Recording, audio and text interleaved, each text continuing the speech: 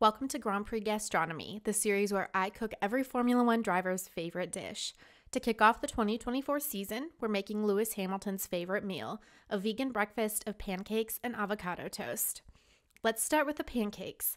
In a large bowl, whisk together whole wheat flour, all purpose flour, baking powder, cinnamon, and sea salt. In another bowl, whisk together almond milk, avocado oil, maple syrup, apple cider vinegar, and vanilla extract. Then mix the wet ingredients into the dry until everything just comes together. Let the batter rest for five minutes before cooking on a heated skillet. I recommend working one pancake at a time. Then onto the avocado toast.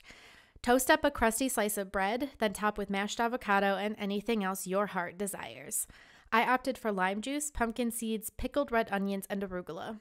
Stack your pancakes and your toast on a plate and serve with maple syrup, flaky salt, and any other topping you love.